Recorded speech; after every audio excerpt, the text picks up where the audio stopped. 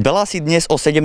hodine miestneho času absolvovali prezápasový tréning na štadióne KI Klaxvík s umelou trávou. My sme prišli hrať futbal a postúpiť, takže ja verím, že, verím, že to zvládneme.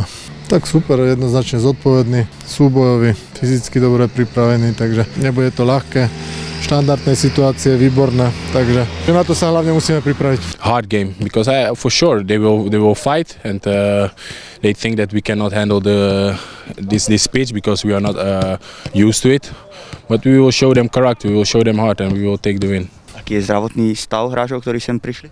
Ktorí prišli chlapci, myslím, že ne, nehlasil nikto, žiadne problémy, takže verím, že budú všetci zdravotne v poriadku na zápas. I think we should play our own game. Uh, we show in our own league also that we are the dominant team. So uh, we need to play football, and uh, and in this we will we will get them.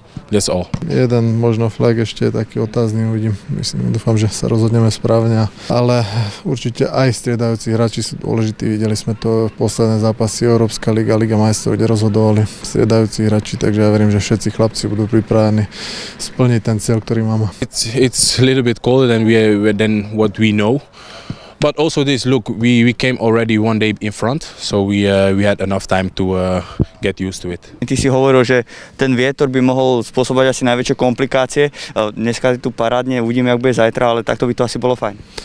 Dúfam, že to tak bude a potom verím, že do zajtra sa nič nezmení a že, že odohráme dobrý zápas.